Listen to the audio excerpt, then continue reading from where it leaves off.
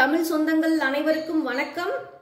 இன்னைக்கு நம்ம வீடியோல என்ன பார்க்க போறோம்னா நம்ம நாட்டை பொறுத்த வரைக்கும் வந்து சாப்பாடை வந்து ரொம்ப நிறைய பேர் வந்து வீணாக்குறோங்க அதுக்கான ஒரு சின்ன விழிப்புணர்வு வீடியோ தான் இது. சாதத்தில் வந்து நம்ம வந்து வடகம் போட்டுறலாம். இல்லையா?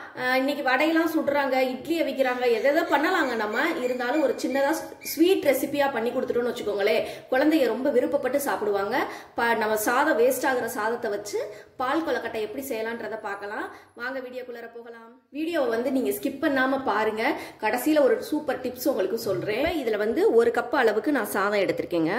மிக்சி பவுல் ஒரு சின்ன பவுல் எடுத்துக்கோங்க அதுக்கு மாற்றிக்கலாம் இதை வந்து நல்லா தண்ணியே ஊற்றாமல் நல்லா நைஸாக அரைச்சி எடுத்துகிட்டு வந்துடலாங்க இப்போ இதை வந்து மிக்சியில் நைஸாக அரைச்சாச்சு. இந்த அளவுக்கு நமக்கு கையில் வந்து ஒட்டதாங்க செய்யும். இப்போ நம்ம இதை ஒரு வந்து ஒரு பவுலுக்கு மாற்றிடலாம் இப்போ இதில் வந்து ஒரு ரெண்டு ஸ்பூன் அளவுக்கு அரிசி மாவு சேர்த்துக்கலாங்க. இப்போ அரிசி மாவு நம்மள்கிட்ட இல்லைனாலுமே நம்ம மைதா சேர்த்துக்கலாம். இப்போ இந்த அரிசி மாவும் சாதமும் வந்து ஒன்று சேர்ற மாதிரி நல்லா கிளறி விட்டு ஸ்டார்டிங்கில் கொஞ்சம் வந்து கையில் ஒட்டுற மாதிரி தான் இருக்கும். நீங்கள் லைட்டாக கையில் வந்து எண்ணெய் தடவிட்டு கூட பிணைஞ்சு எடுத்துக்கலாம். இப்போ நல்லா வந்து இந்த அளவுக்கு உருட்டியாச்சு. கையில் ஒட்டாதுங்க. ஒரு ஒரு ஒரு ஸ்பூன் வந்து எண்ணெய் சேர்த்து கூட பிகினர்ஸாக இருந்தால் நீங்கள் வந்து பிணைஞ்சு எடுத்துக்கலாம்.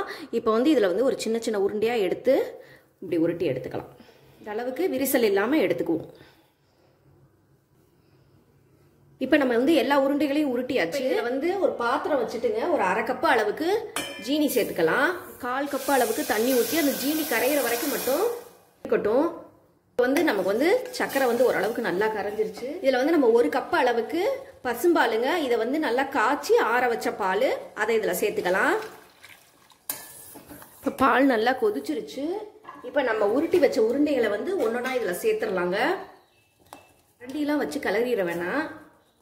அதுவே வெந்து வந்து மேலே வந்துடும் இது அப்படியே வந்து நம்ம கிளறி விடாமல் ஒரு ரெண்டு நிமிஷத்துக்கு மட்டும் மூடி வச்சிடலாம்.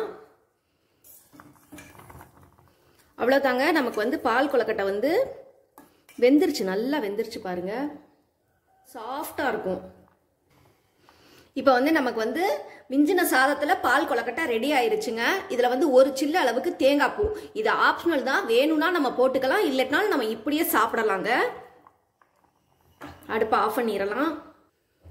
ஏலக்காய் பொடி வந்து ஒரு கால் டீஸ்பூன் போட்டிருக்கேன்.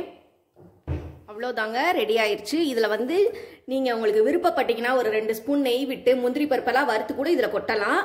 ஆனால் வந்து நமக்கு சிம்பிளாக வந்து எல்லாரும் செய்கிற மாதிரினா இதுதான். தேங்காய் பூ கூட தேவைன்னா நீங்கள் போட்டுக்கலாங்க. இது வந்து இப்போ குழந்தைகள்லேருந்து நம்ம யாருனாலுமே பெரியவங்க வரைக்குமே வந்து ரொம்ப விரும்பி சாப்பிடுவாங்கங்க. என்னடா வீட்டில் ஸ்நாக்ஸ் பண்ணுறதுக்கு எதுவும் இல்லை சாதம் தான் மிஞ்சி இருக்கு அப்படின்னாலும் குழந்தைங்க நம்ம ஸ்கூலுக்கு போயிட்டு வர்றதுக்குள்ளே நம்ம இதை செஞ்சிடலாம். ரொம்ப ஈஸியாக